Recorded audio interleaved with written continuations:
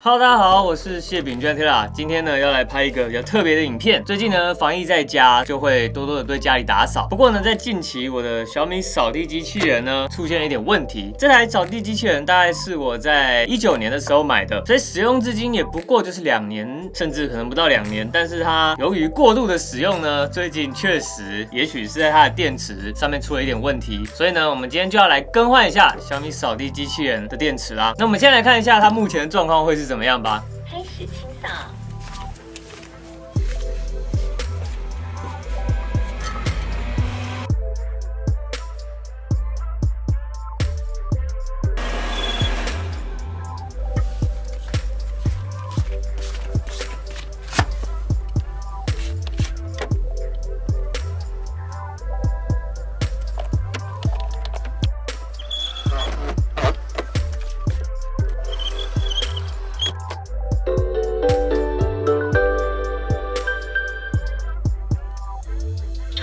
可以看到，就是呢，它在开始运行之后一段时间，这台小米的扫地机。器人就会自动的直接整个关机，然后呢，怎么样也换不醒，一定要把它推回到充电座那边，它才有办法重新过电之后再重新开机。换句话说，它会无预警的断电，那它就会有可能停在各个角落。最扯的一次是一按开始之后，它才走没两步路，直接给我停下来。哎，它的停不是那种闪了黄灯代表它没电的停止，而是它直接的突然就停止。所以我在想，也有可能跟它可能短路或什么样有关。那我们先来看一下这台扫地机器人呢，在我家之后，它的工作情况是怎么样？累计的时间是三百二十五个小时，累计的清扫呢有十七 km 平方，累计的次数呢有一千三百八十次。所以换句话说，在这两年以内的时间呢，它几乎是一天会出动两到三次。所以我在想，也许是因为我的用量比较大，导致它这个电池耗损的速度也比较快。不论原因为何啦，总之呢，我最后就是在虾皮上面买了一个副厂的电池。那至于为什么这个电池要自己换，然后换还要换副厂的呢？其实有一个很主要的原因是，我在之前某一支影片里面有提到过，就是我的小米扫地机器人呢，我遗失发票了，它不给我保修。我上一次坏呢，也修了三千多块。上一次的状况就是它会发出一个很重很重的烧焦味，那个烧焦味是重到真的不敢再继续用下去的。那么这一次电池的问题，我遗失发票，它就是不给我保修。那我就想说，好，那我们就自己来处理吧。好，那么我们的第一件事情呢，开箱。副厂电池呢叫做耐杰，大家在买的时候要记得看一下它的规格是不是正确的。那这个就是我们的电池啦。那么需要准备的东西有螺丝起子，把成盒取出来，然后把它翻过来，主刷要先拆掉。好，再来呢，我们有几颗螺丝要把它卸下来。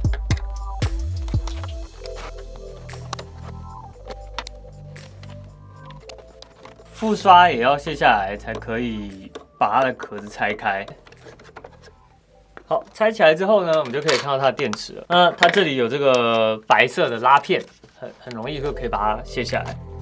好，拉起来之后呢，它里面有排线，有点像网路线那样，一个卡榫按着，应该就可以抽起来了。就这样。这是我们旧的电池，就有点像网路线，你这样按着按着，它就可以起来。换的新的电池，我们先插上它的排线，然后尽可能的把它压紧一点，然后放进去，用这个线稍微把它卡好，这样就可以了。那我们来比较一下啊，它这个是五千六百，那我们来看一下这一颗，这颗原厂的话，它是哦五千二，不知道这样大家看不看得到？它这个原厂的话。它是五千二的，在这里。新的这一颗会稍微大一点点，按照一样的步骤把它安装回去，然后让它去过个电，看它有没有办法顺利的启动。好，那我们现在呢已经换完电池了，我们现在要把它放回充电座，让它过电，看它能不能开机。同时呢，用手机看一下它的电量，因为这颗电池新买的，它还没有充过电，可能需要充饱电之后才有办法让它出来测试看看。哎呀，它马上就感应到了。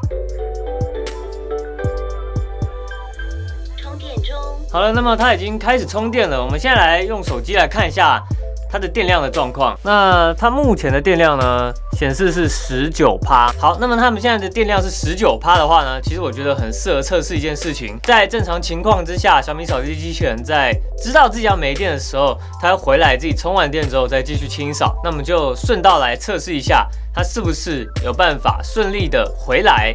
充电座清扫，还是呢？它又会像之前一样横死在街头？那我们就直接来测试看看吧。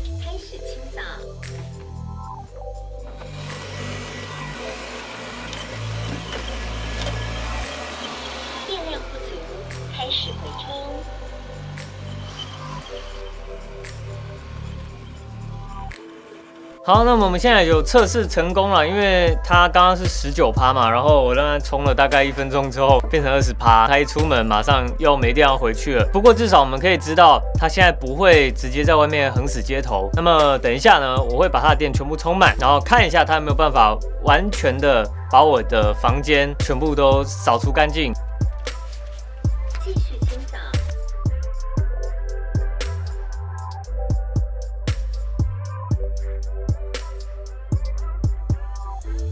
好的，各位，那么我们已经测试完了。那么这一次换电池呢，可以说是相当顺利啊。这台扫地机器人其实在我这边也出过，这是第二次问题了嘛，所以也才使用了一年半的时间。我自己个人呐，还是觉得，哎，我原本也算是米粉，好不好？小米很多东西我都很喜欢，结果我自己在使用上面，扫地机器人却遇到了这么多的问题。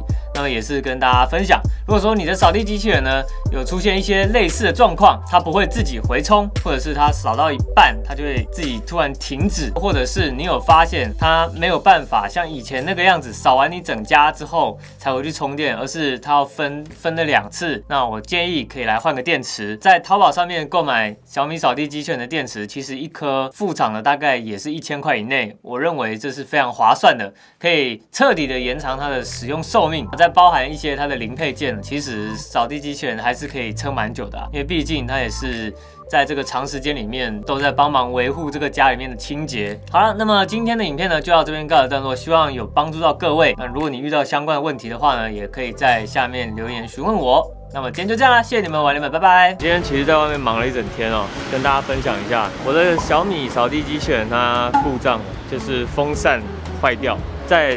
运转的时候呢，就会有一个很可怕的烧焦味，那个烧焦味还真他真可怕，感觉很像你房子在烧焦一样，而且它跑到哪散发出那个烧焦味，一开始一点点，然后后面越来越严重，就变成它在运转的时候呢，你完全没办法待在它的附近，你会中毒的那一种。我就决定把它拿去送修，因为毕竟它对我来说是很重要的打扫辅助道具，所以就把它拿去送修。结果呢？小米啊，好啊，你啊，不要告我，先不要告我，我还没讲完。我在三创买了这只小米扫地机器人，结果我没有留他的发票，然后我要拿去他们的原厂送修，不给修哇！叫我拿发票，叫我拿出货单哇！讲坦白的，买三 C 产品，你留发票跟留这些东西呢，都是基本常识，所以我就只好把它拿到私人的去修，好不好？换风扇两千五，哎，心痛痛的。